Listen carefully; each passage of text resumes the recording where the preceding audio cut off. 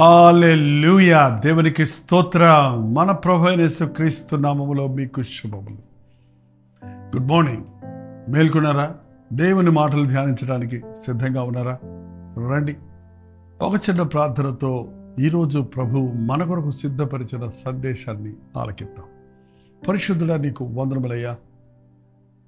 గత రాత్రంతా మమ్మల్ని కాపాడావు. గత దినములలో మమ్మల్ని సురక్షితంగా కాపాడుతూ వస్తున్నావు. నిన్ను స్థుతిస్తూ ఈ ఉదయ కాలంలో సాగుతుండగా నీ కృపలో భద్రపరచుమని క్రీస్తునామంలో అడుగుచున్నాము తండ్రి. ఆమెన్. ఏంటండి? ఎందుకు ఇలా అయింది? ఏంటి ఇలా అయింది? వాళ్ళు ఇలా చేశారే నాకు? వీళ్ళు ఇలా చేశారే? ఇలాంటి పరిస్థితులు ఏర్పడ్డాయి అనే ఆలోచనలు మనకు అప్పుడప్పుడు వస్తుంటాయండి కదా? కొన్ని కొన్నిసార్లు మనకి అర్థం కానివి ఎన్నో మన జీవితంలో జరుగుతుంటాయి. కానీ ఒక్క విషయం గుర్తుపెట్టుకుందామండి. మీరు ప్రభువుని నమ్మిన వారిగా ఉంటే ప్రభువుకి మీ జీవితాలు అప్పగించుకున్న వారిగా ఉంటే మీరు ప్రభువుని ప్రేమించేవారిగా ఉంటే మీ జీవితంలో ఏది కూడా దేవుని చిత్తం లేకుండా జరగదు. అంతేకాదు దేవుడు మన కొరకు ఉద్దేశించినవి ఆలోచనలన్నీ మేలుకరమైనవే కానీ హానికరమైనవి కావు. ఉదాహరణకి బైబిల్లో యోసేపును మనం చూస్తున్నాం. యోసేపు చిన్నప్పటి నుంచి కూడా దేవుడిని ఎంతగానో ప్రేమించిన వాడు దుష్టత్వాన్ని అసహించుకున్నవాడు. ఈ- ఈ విషయం గమనించండి. ఎవరైతే దేవుడిని ప్రేమిస్తారో వారి పాపాన్ని ద్వేషిస్తారు. దేవుణ్ణి ప్రేమిస్తారని పాపంలో కొనసాగించేవారు ఖచ్చితంగా దేవుడిని ప్రేమించడం లేదని అర్థం. నీతిని ప్రేమించి దుర్నీతిని ద్వేషిస్తాడన్నాడు మన ప్రభు. ఆయన అడుగుజాడల్లో నడిచే మనం కూడా ప్రభువుని ప్రేమించే కొలది లోకాన్ని పాపాన్ని లోకాన్ని త్యజించడానికి మనం వెనకాడం. యోసేపు తన పది మంది అన్నలు దుష్టత్వం చేస్తున్నప్పటికీ చెడ్డ కార్యాలు చేస్తున్నప్పటికీ వారితో ఏకీభవించలేదు. సాధారణంగా పది మంది అన్నలు ఒకటి చేస్తుంటే తమ్ముడు ఏం చేస్తాడు? అదే అనుసరిస్తాడు కదా. కానీ వారు చేసేది తప్పు అని గ్రహించుకోవటమే కాదు దాంట్లో ఏకీభవించలేదు. అంతేకాకుండా ఆ విషయాన్ని తన తండ్రికి తెలియజేసేవాడు. అదేంటండి? మరి ఇతరుల గురించిన చెడుగు మనం చెప్పకూడదు కదా? అంటుంటారు కొంతమంది. కొంతమంది తల్లులు బిడ్డలు చేస్తున్నటువంటి తొంటర పనుల గురించి తండ్రికి చెప్పరు.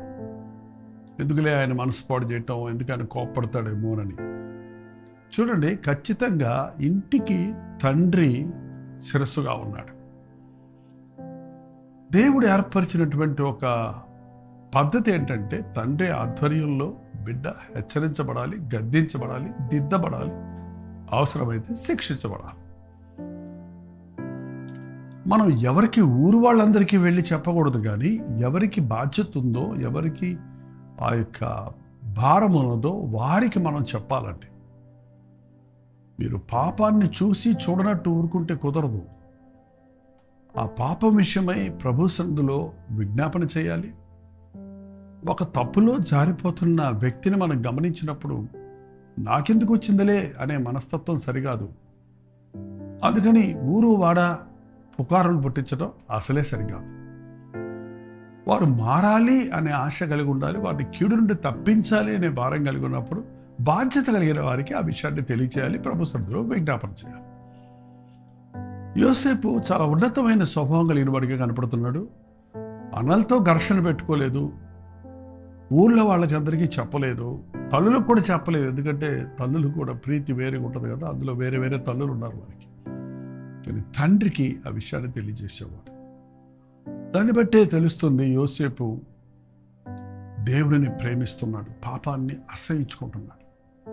తను ఎవరి కాలంలోకి వచ్చినప్పుడు కూడా ఎన్నో అవకాశాలు వచ్చినా అతనికి. యజమానుడి భార్య అతన్ని జారత్వానికి శోధించిన ఏ మాత్రము ఒప్పుకోలేదు. జారత్వము నుండి దూరముగా పారిపోవుడి అన్న మాట ప్రకారంగా ఆమె చేతిలో నుంచి తన కండవాలు ఊడబెరుక్కొని పారిపోయినట్టుగా మనం బైబిల్లో చూస్తూ ఉంటాం అదే సమయంలో పాపానికి చోటు ఇవ్వలేదు అదే సమయంలో ఆమె తనను అలాంటి నీచ కార్యానికి ప్రేరేపించిందని తన నోరు విప్పి ఎవరికి చెప్పలేదు మీరు గమనిస్తే.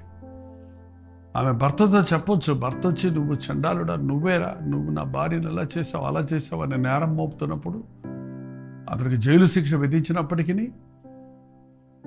ఆ కుటుంబం ఎందుకు కూలిపోవాలి ఆ కుటుంబంలో ఎందుకు కలత కలుగు చేయడానికి నేను కారణం అవ్వాలి? పాపానికి ఆమెకి అవకాశం ఇవ్వలేదు కాబట్టి ఆ కుటుంబం కట్టబడాలి అనే ఆశతో ఆ బాధ నింద తానే భరించాడు కానీ తను డిఫెండ్ చేసుకోవడానికి ప్రయత్నించలేదు. నిజంగా దేవుడిని ప్రేమించేవారు కొన్నిసార్లు మనం నిందలు అవమానాలు భరించడానికి కూడా సిద్ధంగా ఉండాలి. కాదండి మనం తప్పిదములకై దెబ్బలు తిన్నంటే అది తింటే అది గొప్పేముంది మంచి చేసి మేలు చేసి మనం శిక్ష అనుభవిస్తే అది మనకి హితమవుతుంది. మన ప్రభు అదే చేశాడు. కాబట్టి ఆధ్యాత్మికంగా బలపడే వ్యక్తి తను కక్ష తీర్చుకోవడానికో ద్వేషించడానికో పాపంలో దొంగచాటుగా పాప కార్యాలు చేయటానికో దేవుణ్ణి ప్రేమిస్తున్నాను అంటూనే పాపంలో కూడా కొనసాగడానికో ఇష్టపడేవాడిగా ఉండటం. మీ ఆధ్యాత్మిక జీవితంలో మీరు ఎలా ఉన్నారు? దేవుని కొరకు పరి ప్రత్యేకపరచబడిన వారిగా మనం జీవించాలి. అందుకనే యోసేపును దేవుడు ఎంతగానో దీవించడం చూస్తున్నాం ప్రభు ఆయనకి తోడేయడం చూస్తున్నాం. ఈరోజు మీకు ఒక వాక్య భాగాన్ని చూపించాలని ఆశపడుతున్నాను. ఆది కాండము నలభై ఐదో అధ్యాయం. ఆది కాండము నలభై ఐదో అధ్యాయము. ఐదో వచనం చదువుతున్నాను వినండి. ఆయనను నేను ఇక్కడికి వచ్చినట్లు మీరు నన్ను అమ్మివేసినందుకు దుఃఖపడకుడి. అది మీకు సంతాపం పుట్టనీయకుడి. ప్రాణరక్షణ కొరకు దేవుడు మీకు ముందుగా నన్ను పంపించను. ఏడో వచనం కూడా ప్రాణముతో కాపాడుటకు దేవుడు మీకు ముందుగా నన్ను పంపించను. కాబట్టి దేవుడే కానీ మీరు నన్ను ఇక్కడికి పంపలేదు. ఎంత అవగాహనతో ఉన్నాడో ఎంత మంచి మనసు కలిగి ఉన్నాడో అంత మంచి జరిగిందో చూడండి. దేవుణ్ణి గురించిన విశ్వాసం కలిగిన వాడు ఇటువంటి అద్భుతాలు చూడగలుగుతాడు. ఈ నలభై ఐదో అధ్యాయం ఆదికాండం వచ్చేటప్పటికి యోసేపు ఒక బానిసగా లేడు ఇక్కడ. యాకోబు కుమారుడిగా కాదు ఇక్కడ. ఒక బానిసగా ఆ ఫోతిఫర్ ఇంట్లోనికి ఇంటిలో కుదిరాడు. ఆయన వారి అన్నలు అమ్మేశారు అతన్ని గుంటలో పడేసి. ఐగుప్తుకు ఆ వ్యాపారస్తులకి అతన్ని అమ్మేశారు. కానీ ఇప్పుడు వాళ్ళు పక్కపక్క నవ్వుకున్నారు పది మంది అన్నలు. కానీ ఇప్పుడు వారు బెక్కాలు ముఖాలు వేసుకొని ధాన్యం కొరకు సంచులు పట్టుకొని అది తన తమ్ముడు అని తెలియక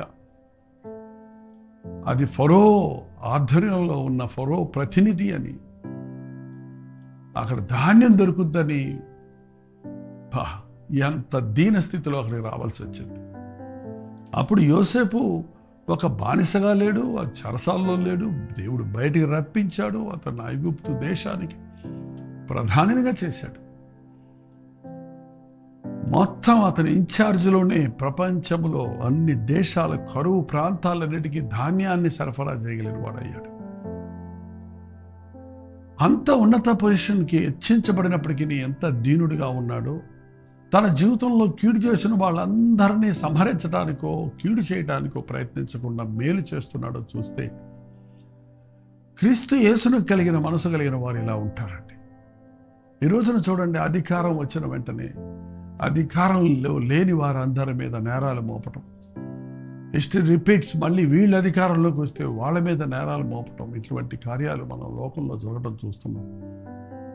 కానీ యూసేపు తనకు అధికారం ఉంది కదా అవకాశం ఉంది కదా అని తన సహోదరులను కనీసం కించపరచలేదు సరిగదా. మీరు నన్ను ఇక్కడికి అమ్మేసినందుకు మీరు బాధపడకండి. మీరు నాకేదో హాని చేశారని దిగులు పడుతూ ఉండకండి. ఇది దేవుడే నా మేలుకే మీ మేలుకే మన మేలుకే చేశాడు.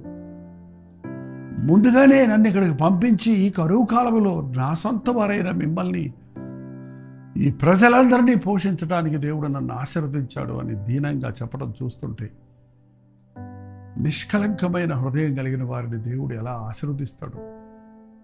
ఎలా ప్రేమిస్తాడో? ఎలా హెచ్చిస్తాడో అన్నది మనం చూడగలుగుతున్నాం. మీరు బాధపడకండి నన్ను అమ్మేసినందుకు దయాదాక్షణం లేకుండా గోతులు తోసేశారు కాళ్ళు చేతులు కట్టేశారు వ్యాపారస్తులకు అమ్మేశారు. అవన్నీ జ్ఞాపకం చేసుకుంటే యోసేపుకు పళ్ళు పటపట కొర కొరకాలు అనిపిస్తుంది. కానీ యోసేపు అంటున్నాడు ఇదంతా దేవుని ప్రణాళిక.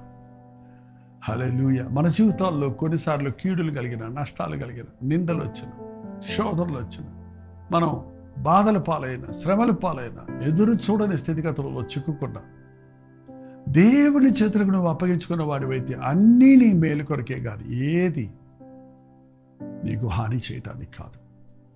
దేవునికి మనల్ని మనం అప్పగించుకోవడం నేర్చుకుందామండి. ప్రతి ఉదయము దేవుని చేతుల్లో మనల్ని మనం పెట్టుకుంటే ప్రతి ఉదయము దేవునికి మనల్ని అప్పగించుకుంటూ దేవా నా జీవితంలో ప్రతి సంఘటన నీ చిత్తంలోనే నుండి జరుగుతుంది ప్రతి విషయంలో నీ ప్రణాళికే నెరవేరాలి. అది కష్టమైనా అది నష్టమైనా నేను చెవియొగ్గుతాను నేను విధేయుడవుతాను. నా జీవితంలో ఏ భయము లేకుండా ఏ ఆతృత లేకుండా నేను ఏసయ్య చేతుల్లో ఉన్నాను. నన్ను నడిపించేవాడు నన్ను దీవిస్తాడు నన్ను హెచ్చిస్తాడు అన్న విశ్వాసంతో మనం సాగగలిగితే సమాధానంగా సంతోషంగా ఉండగలుగుతాం. మనం అనేకులకు ఆశీర్వాదకరంగా ఉండగలుగుతాం. యోసేపు జీవితంలో ఎన్నో కష్టాలు పడ్డాడు లోకరీతిగా చూచినట్లయితే. ఎన్నో విధమైన పోరాటాలు నిందలు అవమానాలు మానసిక ఆందోళన ఎదుర్కొన్నాడు కానీ అవన్నీ దేవుని ఎందు విశ్వాసంతో దేవుడు నాకు అనుమతించాడు. దేవుడు వీటిలో ఉండి నన్ను శ్రేష్టమైన వాడిగా మంచి సువర్ణంలాగా ప్రభు నన్ను తీసుకురావాలని చూ ప్రయత్నిస్తున్నాడు అని నమ్మాడంటే. ఈరోజు కూడా దేవుడు మనల్ని కోరుకుంటున్నాడండి విశ్వాసుల్ని కోరుకుంటున్నాడు. క్రీస్తు సారూప్యంలోనికి మనం మలచబడాలి. యోసేపు జీవితంలో క్రీస్తు సారూప్యాన్ని మనం చూడగలుగుతాం. మన జీవితంలో కూడా క్రీస్తు సారూప్యం మనలోనికి రావాలంటే ఆ శ్రమానుభవంలో సమానుభవం పొందాలి. ఆ విధేయతను మనం కలిగిన వారిగా ఉండాలి. ఆ సమర్పణ మనం కలిగిన వారిగా ఉండాలి. ఆ క్షమాపణ హృదయాన్ని మనం కలిగిన వారిగా ఉంటే ఆ ప్రేమను క్రీస్తు ప్రేమనుతో నింపబడిన వారిగా మనం ఉన్నప్పుడు మన జీవితాల ద్వారా క్రీస్తును ఇతరులకు చూపించగలుగుతాం. అనుదినము దేవుని వాక్యం వింటూ ఆధ్యాత్మికంగా బలపడుతున్నామన్న మీ గురి ఏంటి? ఎవరిలాగా ఉండాలన్న ఆశ? ఎవరిలాగా మీరు ప్రవర్తించాలని ఆశపడుతున్నారు? ఏ సయ్యను నాలో ఇతరులు చూడాలి. ఆయనలోని సహనము ఓర్పు క్షమాపణ నాకు కావాలి. నేనప్పుడు పోతున్న శ్రమలన్నీ కూడా నా మేలు కొరకే. వీటన్నిటినీ నా ఏసయ్య నాకు ప్రయోజనకరంగా మారుస్తాడు అన్న విశ్వాసంతో ఉంటే మనం సమాధానంగా సంతోషంగా అన్ని స్థితిగతుల్లోనూ ఉండగలుగుతాం. మనకు తెలియకుండానే పరోక్షంగా మనం అనేకులకు ఆశీర్వాదకరంగా మారగలుగుతాం. ప్రతి విశ్వాసి క్రీస్తు సారూప్యంలో మలచబడి ఒక చిన్న క్రీస్తును పోలే ఈ లోకంలో ఆయన సాక్షులుగా జీవించి ఆయన ప్రేమను పంచువారిగా ఆయన మనస్సును ఎరిగి ఆయన చిత్తమును ఎరిగి ఆ రీతిగా ముందుకు సాగువారిగా ఉండాలని ప్రభు కోరుకుంటున్నాడు. ఈ సమయంలో ఒక్కసారి ఆలోచించేయండి. అన్యాయం చేయబడ్డారా? ద్రోహం చేయబడ్డారా? మోసగించబడ్డారా? అపకారం చేయబడ్డారా? ఇంటివారు సొంతవారు నమ్మినవారు మిమ్మల్ని విడిచిపెట్టేశారా? యేసు ప్రభు మిమ్మల్ని విడువడు. యోసేపును విడిచిపెట్టారు వారు. కానీ ప్రభు అతనికి తోడై ఉన్నాడు. కాబట్టి అన్ని స్థితిగతుల్లో అతను దీవించబడ్డాడు. దేవుడు మనకు తోడై ఉన్నప్పుడు మనం అన్ని విషయాల్లో వర్ధిల్లుతాం. మన అంతం అద్భుతంగా ఉంటుంది. అలయొద్దు సొమిసల్లిపోవద్దు యహోవా కొరకు ఎదురు చూచేవారు నూతన బలం పొందుతారు. దేవుని శ్రద్ధలో కనిపెట్టండి. నా జ- నా నా నా శ్రమకి ఇంకను జవాబు రాలేదే. నా ఇబ్బందుల్లో నుంచి నేను ఇంకా బయటపడలేదే అనే సందిగ్ధతలో ఉంటే ఇదిగో శీఘ్రముగా నీకు స్వస్థత కలుగును. శీఘ్రముగా నీకు విడుదల కలుగును. ఇదిగో ఆ నేను చెప్పిన మాట త్వరితముగా చేయుదనన్న దేవుని మాటల ఎందు విశ్వాసం ఉంచండి. అద్భుతాలు చూడగలుగుతాం. ప్రార్థన. పరిశుద్ధుడ ప్రేమగల్ల తండ్రి ఎవరెవరు ఎక్కడెక్కడి నుంచి ఈ మాటలు విన్నారో మా జీవితాల్లో మేము బాధలు పడుతున్నామనో మోసగించబడ్డామనో అవమానాలు పొందుతున్నామనో ఎందుకు ఇలా జరిగిందనో ప్రశ్నలతో నాయన మేము ఉండుంటే నీ వైపు చూచుటకు నీ ఎందు విశ్వాసం ఉంచుటకు నీ కార్యములు ఎంత అద్భుతమైనవో గుర్తించి. మా జీవితంలో ఏది మేమనుకున్నట్టు మనుషులు అనుకున్నట్టు కాక నా కొరకు నా ప్రభు కలిగి ఉన్న ప్రణాళికలు నెరవేరుతున్నవి. అని విశ్వసించి మమ్మల్ని మేము సమర్పించుకున్నట్టుకు సహాయం చేయమని క్రీస్తునామములు అడుగుచున్నాను తండ్రి. ఆమేన్. తండ్రి అయిన దేవుని యొక్క ప్రేమయు కుమారుడైన క్రీస్తు యొక్క కృపయు ఆదరణకర్త అయిన పరిశుద్ధాత్మ యొక్క సహవాసం కుడి వచ్చిన మనందరికీ ఇప్పుడు సదాకాలం తోడేయడం గాక ఆమెన్. దేవుని స్తోత్రం మీ ప్రార్థనా స్తోత్ర భారాలు nine five four zeros four one వరకు టెక్స్ట్ లేక వాయిస్ మెసేజ్ ద్వారా వాట్సాప్ పెట్టండి. మీ పక్షంలో ప్రార్థించడానికి మేము ఎప్పుడు సిద్ధంగా ఉన్నాం. ప్రభు మనల్ని అన్ని విషయాల్లో కాపాడుతున్నాడు దీవిస్తున్నాడు. ఆయన నామాన్ని మహిమపరచినట్లుగా ఆయన సాక్షులుగా జీవించినట్లుగా మన జీవితంలో ప్రతి సంఘటన ఆయన చిత్తంలో జరుగుతుందని విశ్వసిద్దాం. మీరు ఇతర దేశాల్లో ఉంటే nine one double zero one double zero triple eight నెంబర్కి మీ ప్రార్థన అవసరాలు పంపించండి. మీ పక్షంలో మేము ప్రార్థిస్తున్నాం. మీరు కూడా ప్రార్థించండి. ఖతర్లో ఉన్నట్లయితే ఈ పద పదకొండు పన్నెండు తారీఖులు మూడు రోజులు ఖతర్లో ప్రత్యేకమైన గెట్ టుగెదర్ మీటింగ్స్ను మూడు రోజులు ఏర్పాటు చేస్తున్నాం. పరిసర ప్రాంతాల్లో ఉన్నవారు పాల్గొనండి. ముఖాముఖిగా చూసి ప్రార్థన చేయడానికి అవకాశం కలుగజేయండి. మీ బంధువులు స్నేహితులు ఆ దేశంలో ఉంటే వారికి కూడా తెలియచేయండి. ప్రవచితమైతే మధ్యాహ్నం మూడు గంటలకి మళ్ళీ రాత్రి తొమ్మిది గంటలకి లైవ్లో కలుసుకుందాం. అంతవరకు దేవుడు మహాకృప మీకు తోడేయడం కాక హాలెలూయా! ఖతర్లోని దోహాలో ఉన్న వారందరికీ శుభవార్త. దోహా దోహా పరిసర ప్రాంతాల్లో ఉన్న వారందరూ ప్రభు యేసునామములో సమకూడి దానిని ఆరాధించుట కొరకు ప్రభుత్వమైతే ఈ మార్చి నెల పది పదకొండు పన్నెండు తారీఖుల్లో ప్రత్యేకమైన మూడు రోజుల సభలను ఏర్పాటు చేస్తున్నాం.